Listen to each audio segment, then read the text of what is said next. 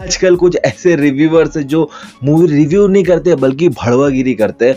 पहले एक जमाना था जब वो लोग एक्चुअल रिव्यू करते थे चीज़ें अच्छी तरह से एक्सप्लेन करते थे। लेकिन आज की तारीख में उनका ईगो किसी भी मूवी से ज़्यादा आगे बढ़ चुका है और उनको अपनी भड़ास निकालनी अगर उनके हिसाब से किसी मूवी को वो लोग ना पसंद करते हैं तो वो लोग इतनी नेगेटिविटी करेंगे चाहे वो मूवी वो लोग देखे क्यों ना हो। और अभी कुछ ऐसे चल रहा है कि भाई आज की तारीख में लोग बॉलीवुड से बहुत ज़्यादा चिड़े हुए हैं। इतनी ज़्यादा मार्केट में नेगेटिविटी है कि अच्छा प्रोडक्ट भी ऑडियंस देखना पसंद नहीं कर रही। ब्रह्मास्त्र जिसको ऑडियंस देख रही है, लेकिन ये रिव्यूअर से इनके गले से उतर रहा नहीं कि भाई ऑडियंस क्यों देख रही है? तो वो लोग नेगेटिव पे नेगेटिव नेगेटिव पे नेगेटिव बोले जा रहे बोले जा रहे बोले जा रहे तरन बुड्ढा हो या प्रीतिक भोसड़ी वाला हो या फिल्मी गंजा हो या फिल्मी मोटी हो या जितने भी रिव्यूअर्स है, इस सब के सब मतलब भाड़े के टट्टू, मैं एक ही चीज़ बोलूँगा कि देखो यार नेगेटिविटी मत फैलाओ। मैं मानता हूँ ब्रह्मास्त्र मूवी में कुछ ऐसे फ्लॉज है, जो कि मैंने भी रिव्यू में बताया लेकिन मूवी पूरी तरह से गलत नहीं है। और मज़े की बात है कि जैसे ही फ़र्स्ट डे का कलेक्शन आया, इनका मुँह काला हो गया, इन सारे रिव्यूअर्स का। और सेकंड डे के कलेक्शन के बाद तो भाई इनकी बोलती बंद हो गई है। और अब क्या कर रहे हैं मालूम है? अब ये लोग के पास कुछ ऑप्शन नहीं बचा तो भाई ये लोग सीधा ये बोल रहे हैं कि जो भी कलेक्शन ऑडियंस को दिखाया जा रहा है, ये सारे के सारे फेक है।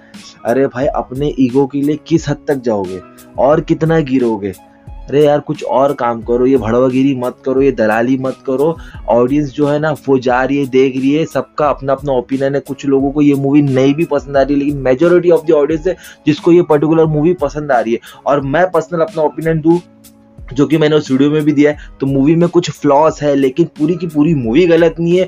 अगर आप लोग हॉलीवुड की मूवी देखो और लव एंड थंडर या उससे पहले जो डॉक्टर स्ट्रेंज आई थी या फिर जो एमसीयू का भी, फ़िलहाल लेटेस्ट में शी हल्क शो चल रहा है। कहानी कुछ भी नहीं है, लेकिन फिर भी देख रहे ना, कुछ फ्लॉज है, कुछ चीज़ें उसमें भी खराब है, कुछ चीज़ें उसमें भी अच्छी है तो इसी तरीके की प्रोडक्ट आती है। कोई भी चीज़ हंड्रेड परसेंट नहीं होती है। लेकिन अगर हमारे इंडिया वाले कुछ नया ट्राई करने की कोशिश करें तो उसकी गांड में उंगली करना कुछ इन भोसड़ी वालों से सीखे। Sorry for my bad words लेकिन मुझे ऐसा लगता है कि इस तरीके की फ़ील्ड के लिए मैं नहीं बनाऊ यार। इसीलिए मेरे वीडियोस काम आते हैं, क्योंकि मुझे ये भड़वागिरी करनी आती भी नहीं, और ना ही ही मेरा घर इस पर्टिकुलर चैनल से चलता है।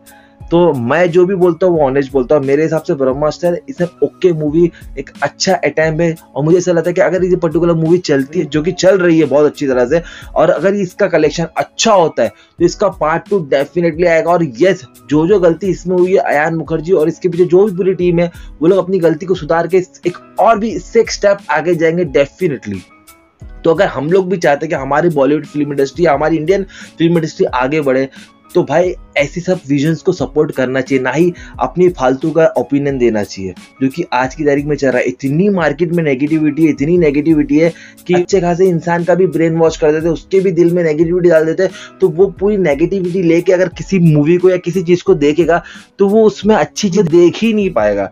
तो ये सब चीज़ चल रही है। तो मुझे ऐसा लगता है कि आप लोग इन सारे रिव्यूअर्स को या किसी को भी मत देखो। आप पर्टिकुलर मूवी देखो, एक न्यूट्रल माइंड से देखो तो आपको खुद समझ में आएगा। और बाइकआउट करने से कुछ फ़र्क नहीं पड़ता, ये तो समझ में आ चुका क्योंकि फ़र्स्ट डे ब्रह्मास्त्र ने वर्ल्ड वाइड 75 करोड़ किए और सेकेंड डे 85 करोड़ किए वर्ल्ड वाइड तो कुल मिला के वन करोड़ हुआ है, जो कि आज की तारीख में कोई खाने का काम है नहीं। और जिस हिसाब से ब्रह्मास्टर के पीछे लोग हाथ धो के पड़े थे, ये मूवी ने सबको जोरदार तमाचा मारी है।